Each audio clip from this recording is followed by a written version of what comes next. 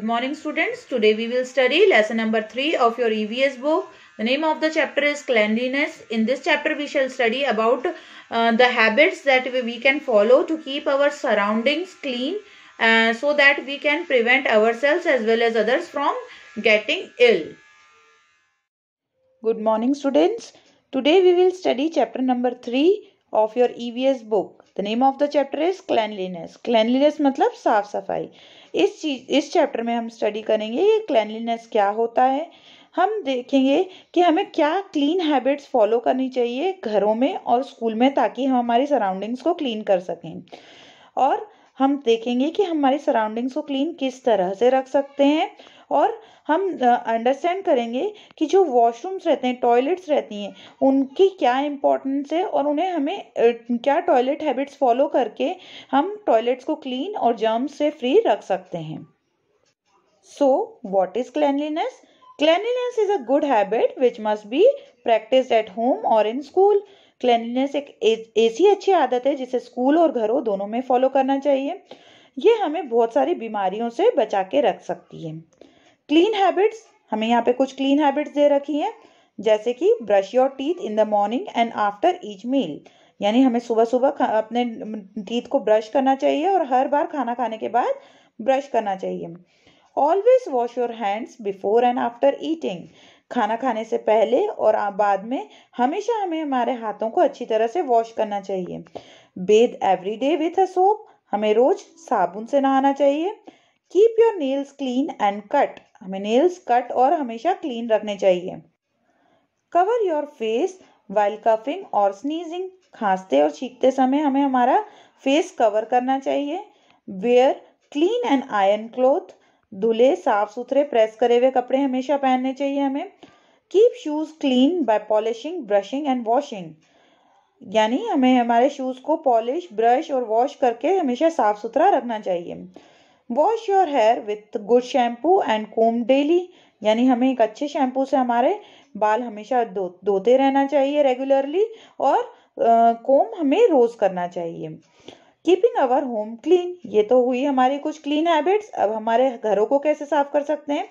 We should keep the floor of our homes clean unclean floors have germs which make us sick यानी हमें हमारे घरों की ज़मीनों को फ्लोर्स को हमेशा क्लीन रखना चाहिए, यानी उस पर झाड़ू पोछा करते रहना चाहिए, क्योंकि अनक्लीन फ्लोर्स पे बहुत सारे जर्म्स होते हैं, जिसकी वजह से हम बीमार हो सकते हैं।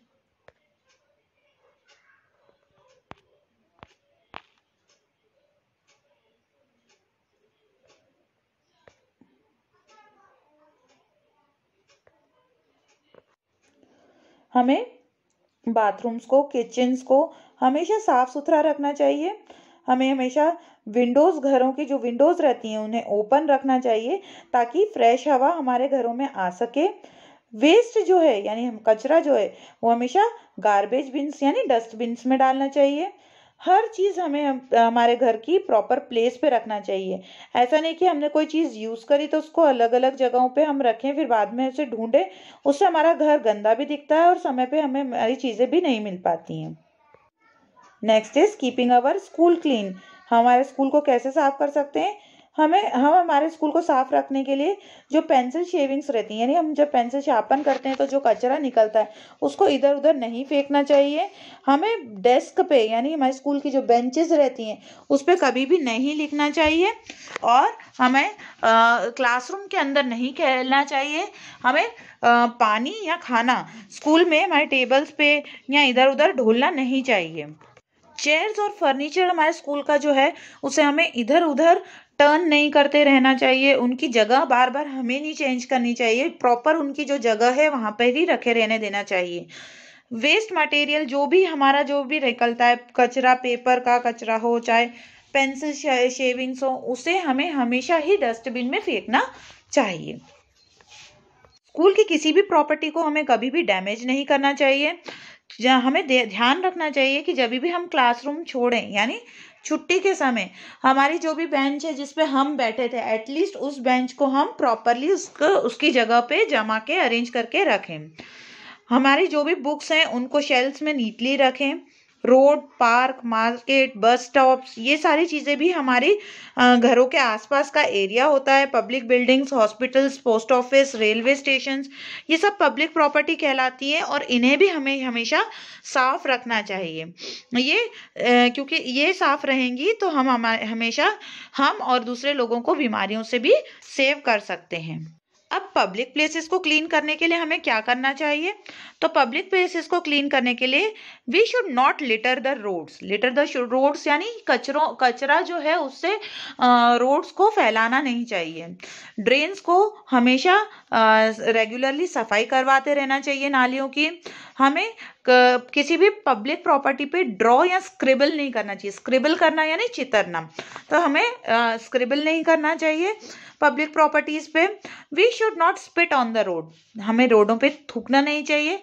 We should plant trees to make our surroundings beautiful हमारे आसपास की सराउंडिंग्स को सुंदर बनाने के लिए हमें हमेशा ट्रीज उगाते रहना चाहिए और स्टेगनेट वाटर स्टेगनेंट वाटर मतलब रुके हुए पानी को हमेशा हमें साफ़ कर देना चाहिए क्योंकि इनमें कई सारे मच्छर या जर्म्स हो जाते हैं जिसकी वजह से बीमारियाँ फैलती हैं। We should use public toilets when we go out जब भी हम बाहर जाते हैं तो हमें इधर उधर टॉयलेट्स के वॉशरूम के लिए यूज़ नहीं करना चाहिए। हमें टॉयलेट्स का पब्लिक टॉयलेट्स का यूज़ करना चाहिए वॉशरूम के लिए। Next topic is why do we need toilets तो टॉयलेट्स जो है क्लीन टॉयलेट्स यूज़ करना हमारे हेल्थ के लिए बहुत ही एसेंशियल है बहुत ही ज़रूरी है। और uh, ये जो क्लीन uh, टॉयलेट्स अगर हम यूज़ करते हैं तो हमारे हमें अपने आप को हम बहुत सारी बीमारियों से और जर्म्स से बचाए रख सकते हैं। हमें हमारे टॉयलेट्स को भी रेगुलरली क्लीन करते रहना। नाउ गुड टॉयलेट हैबिट्स यानी गुड टॉयलेट हैबिट्स कौन कौन सी होती हैं? हमेशा हमें फ्लश करना चाहिए टॉयलेट्स को आफ्टर यूज़ है ना यानी उन्हें हमें अच्छी तरह से वाटर का यूज़ करना चाहिए। We should wash our hands with soap and water after using the toilet हम जब भी टॉयलेट का यूज़ करें, उसके बाद हमें हमारे हाथ अच्छी तरह से साबुन से धोने चाहिए।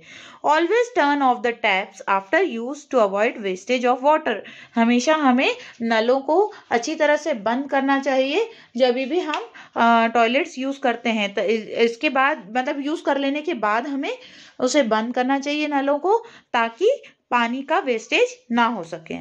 तो आज के चैप्टर में हमने सीखा कि क्या गुड हैबिट्स होती हैं जो हम फॉलो कर सकते हैं क्लैनलीनेस के लिए। सभी दूर क्लैनलीनेस रखना बहुत ज़्यादा इंपॉर्टेंट है, इसीलिए हमें क्लैनलीनेस के लिए सारी गुड हैबिट्स को फॉलो करना चाहिए। So in today's video we studied about good habits that we can follow to keep our surrounding clean